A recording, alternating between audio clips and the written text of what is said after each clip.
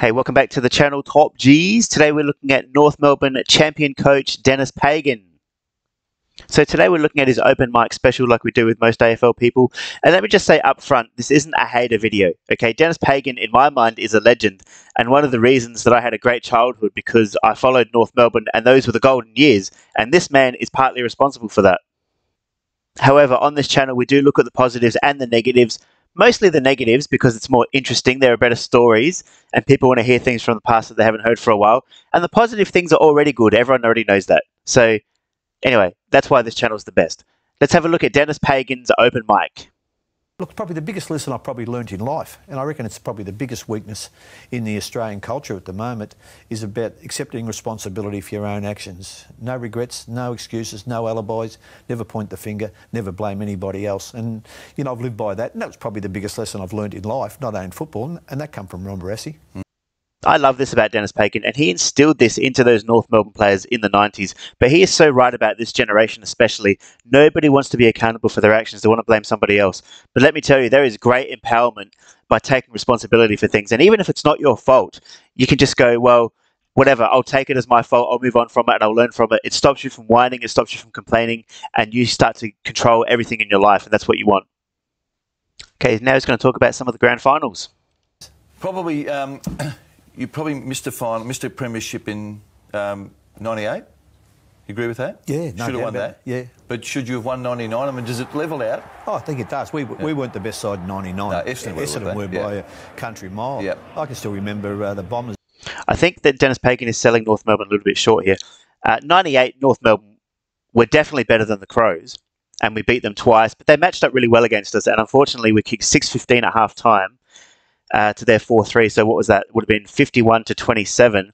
So instead of 6 15, had we kicked 9 12, it would have been 66 to 27. No doubt that would have been the end of the game. Uh, and it's unfortunate in the end they overran us, but we were definitely the better side than the Crows. But in 99, Essendon were only one more win ahead of us. So 18 wins, we had 17 wins. They beat us twice during the year. So if it was a sunny day on grand final day, they probably would have beaten us by a good five goals. But having said that, North Melbourne won the last seven games of that season. Uh, well, the last eight or nine if you count the finals. And Essendon won seven in a row before losing to Carlton. So both teams pretty evenly matched despite Essendon beating us that year. Before the preliminary final was played, people were queuing up, going right down Napier Street, around the corner into Fletcher Street, and I thought to myself, gee, this is amazing. So whether that had any... Yeah, the Essendon fans were definitely pretty cocky, and they didn't think Carlton was going to get over the line by a point, that's for sure The impact on the player. So they were queuing up for grand final tickets, yeah, and they hadn't earned their, their way into it yet. Yeah, yeah. exactly. And that, that's only the supporters, yeah. but that yeah. was, you know, I just wondered whether that had any effect on the the players. I, look, I thought in '94 we were beaten by uh, Geelong with the last kick of the day.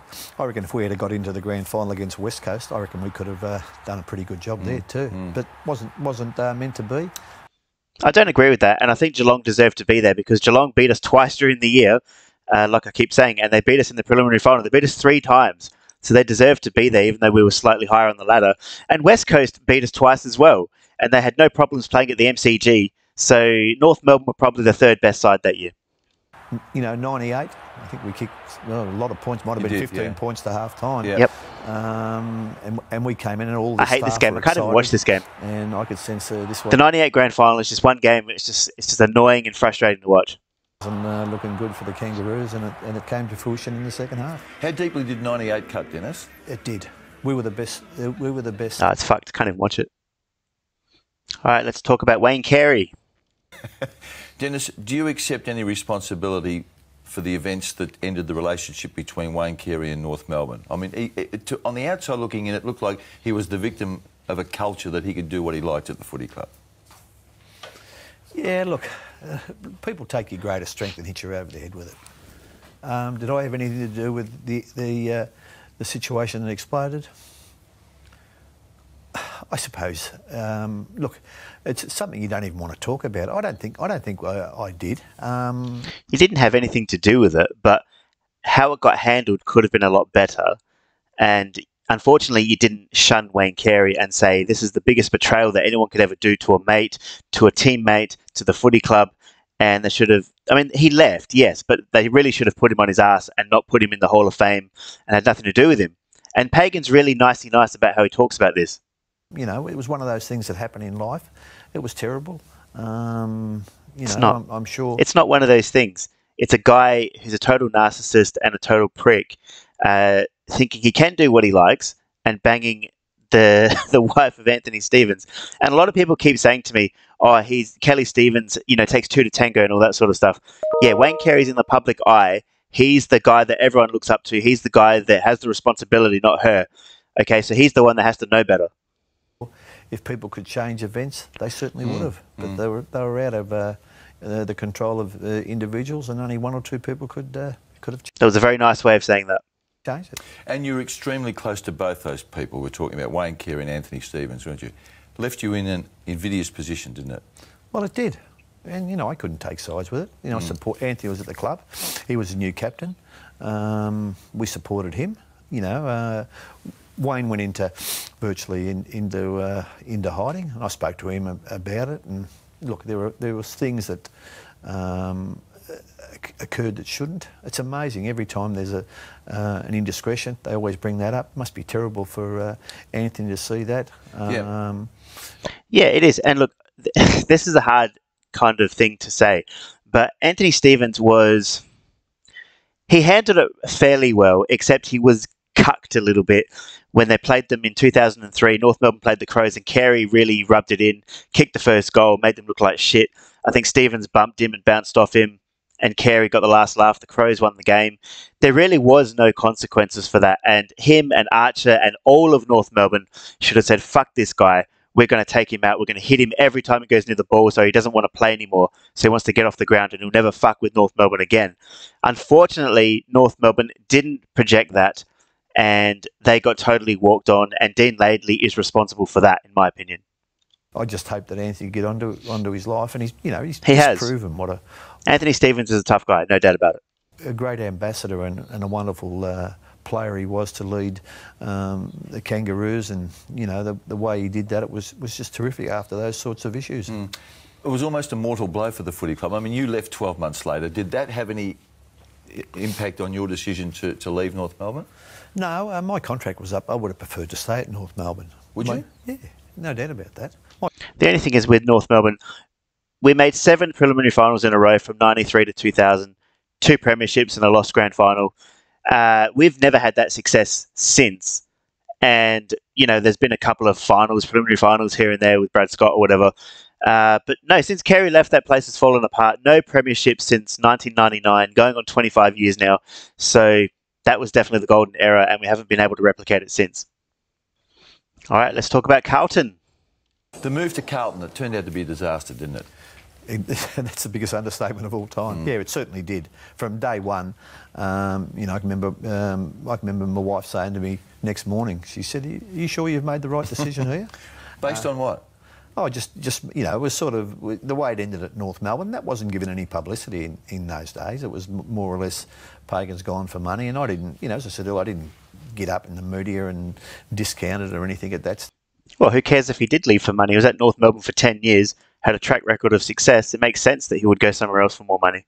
Day. Just, just moved on with it, and you know, from the moment I went to Carlton, you know, from you know losing your picks, um, a very, a very public sort of, um, um, you know, clash between league heavyweights Graham Samuel and John Elliott, and then get those uh, uh, fines and uh, sanctions and that sort of stuff. And you know, from from day one, I think Carlton were the oldest list, uh, the highest paid. That's interesting, though. It's easy to blame the fines, the draft picks, John Elliott, uh, you know, old Carlton players still hanging around. But Koutoufides even said that Denis Pagan's game plan was outdated. You know, the kick long, the Pagan's paddock, all that sort of stuff had been figured out more or less, and the times were changing, and defence was changing, um, and that was one reason why Carlton got left behind. But if you take a look here, you can see that Carlton in 2003 they got four wins in his first season, but then they got 10 wins in 2004. So they could have been a competitive team. And then they went four wins, three wins, and four wins. So four out of the five seasons, he got four, four and a half wins or less, essentially. And Carlton lost every single game in 2007 after Pagan left as well. But you can't just blame it on draft picks and all the stuff that happened because if you look at Carlton, especially in 2003, in his first season, some of those efforts were deplorable to say the least. And they finished the season losing by 122 points. And if you watch that game against North Melbourne, Carlton sucked badly. And they didn't provide contests, they didn't have any skills, they would miss short passes, easy things like that. So you can't just blame the politics of Carlton. They just weren't a good side. Okay, they just weren't a good team, even though they had some decent players there. Okay, let's have a chat about his son, Ryan Pagan. Years 2000, your son Ryan is on the list. You give him three games, I think the first three games of the year. Mhm. Mark Dawson, your long-time lieutenant as chairman selectors, leaves apparently because you demanded games for Ryan. Is that story true? He left. Uh, but The thing about it, and look, it's, it is a sensitive question. He didn't answer that straight away. He didn't say, no, I never demanded that. Um, Ryan was getting uh, 40 positions in the reserves at that stage. He deserved a chance. But look, um, in retrospect, I would have loved Ryan to go somewhere else, and that was the start of my, the start of uh, my demise there at, at the Kangaroos. Um, you know, people thought that I had too much control, and you know, you, you mentioned Mark, and, and he was probably one of the ones who uh, um, thought that? Yeah, thought that. Did you did you gift Ryan those games? No, I certainly did not. So Certainly the vote at the match committee was for him to be in the team. Yeah, I discussed it with uh, with my loyal t- lieutenants and that sort of stuff. If anyone was against it, why didn't they speak up at match committee? Was I that much of a tyrant? I wouldn't let anyone to talk. Mm. Yeah, we, Just on this as well, here's my thoughts. Hang on, let me get know, a we were pretty. Uh, my my thoughts on Ryan Pagan were he was probably a little bit too slow in my opinion for the AFL, especially in 2000. Um, and you know he was quick, he was fit, he was enthusiastic.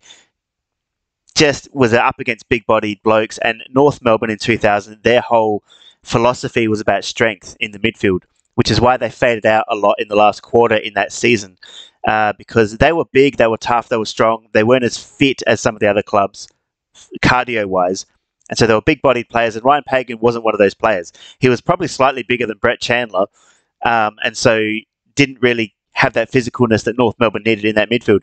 Now, my experience with coaches and family members or sons or whatever is that they tend to be more harder on their children, and they they actually give them shit in front of other players. And I always found, look, when I was playing under this coach, his son was playing in the same team as me when I was playing under 17s.